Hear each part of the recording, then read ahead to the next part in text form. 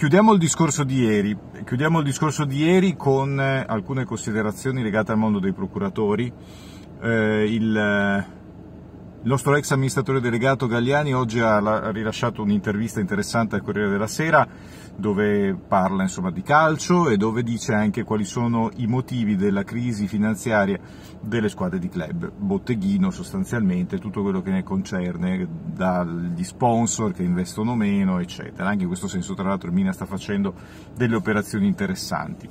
Quello che però omette Galliani è la questione dei procuratori, questione dei procuratori sollevata di recente solo dal presidente del Barcellona, il quale ha detto a bilancio mi sono ritrovato questi milioni di euro pagati ai procuratori, la cosa non è più sostenibile. Ecco, allora perché completa il discorso di ieri? Perché la questione dei franchessi molto probabilmente è legata eh, alla questione dei procuratori, procuratori che stanno assumendo un ruolo sempre più importante, eh, essendo diventati praticamente i tenutari del cartellino dei giocatori, perché i giocatori non sono più di proprietà delle squadre, ormai eh, mi pare evidente, visto che eh, il giochetto di andare a zero quando si vuole cambiare aria e, e, soprattutto quando si vuole cambiare aria per un certo motivo che vi dico adesso, mi pare che stia prendendo troppo piede. Oggi mi ha scritto un amico che si chiama Luca degli Innocenti, che, è, un ex agente della UEFA, e mi ha scritto un commento molto interessante dicendo che a monte di tutto quello che sta accadendo con i procuratori c'è un problema legato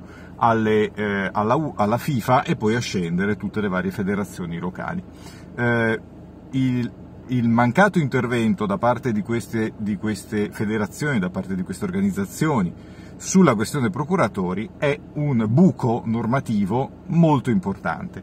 In molti di voi amici del canale mi avete scritto perché, che Ferenc sia andava venduto quest'anno per monetizzare. Mm, considerazione che potrebbe apparire giusta, ma secondo me manca di un fondamento, e cioè il fatto che per essere venduto quest'estate, eh, Franchessy non dovrebbe avere, non, anzi non, dov, non, avrebbe dovuto avere, presumibilmente, facciamo non dovrebbe avere un accordo già con un'altra squadra. Cosa intendo dire? Intendo dire che sta diventando prassi comune, a causa di questo buco normativo, eh, prendere un accordo che non si potrebbe con la futura società per arrivare a scadenza e quindi per potersi trasferire a parametro zero, salvo poi corrispondere al eh, procuratore una commissione che, sarebbe, che sarà comunque inferiore rispetto al costo del cartellino, ma che consente al procuratore di fare un bel business e al giocatore di trasferirsi senza troppi problemi dove gli pare in una società che gli garantisce evidentemente eh, guadagni maggiori. Quindi non si poteva fare.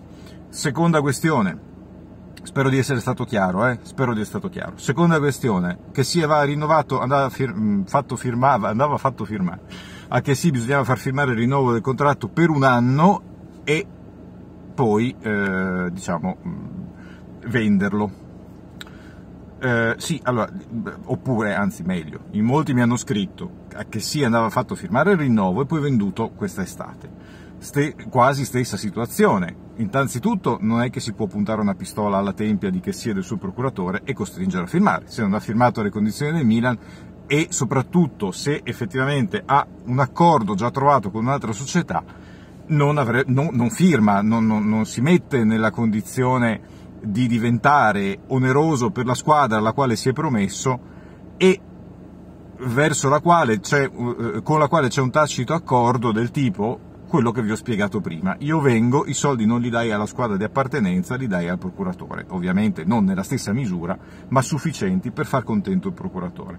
Sono supposizioni, ma siccome la cosa si trascina, e siccome abbiamo visto altre volte questa questione, e soprattutto sappiamo che tante società si sono messe di traverso rispetto al ruolo dei procuratori, è evidente che eh, si è presentato, si presenta e si presenteranno situazioni di questo tipo, fin tanto che fin tanto che a livello di mh, organizzazioni del calcio non si metterà un freno a questa cosa, perché ha ragione Tebas, il patrono del calcio spagnolo, a dire che il Paris Saint-Germain rovina il calcio. Siamo tutti d'accordo che le inique regole della UEFA hanno consentito, diciamo, tutta una serie di... di, di, di hanno, hanno, lasciato delle falle e, e ci fermiamo qui col, col, col racconto, che permettono insomma, a certe squadre di fare un po' quello che gli pare.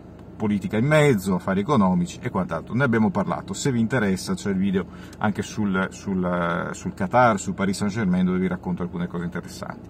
Eh, però la questione non è solo questa, la questione sono anche i procuratori che stanno portando i calciatori ad essere di proprietà dei procuratori e non più appannaggio delle squadre. Ora, e chiudo, non serve ritornare come negli anni 70 dove la società era totalmente padrona del cartellino del calciatore, faceva di lui, disponeva di lui come meglio credeva.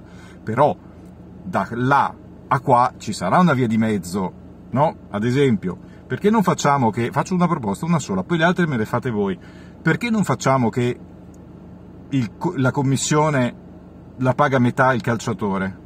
Facciamo così, come quando compri una casa, no? che paga metà, paga l'agenzia sia chi vende sia chi compra. Facciamo così, il calciatore comincia a pagarsi il suo procuratore, no? metà della commissione richiesta alla società per la trattativa.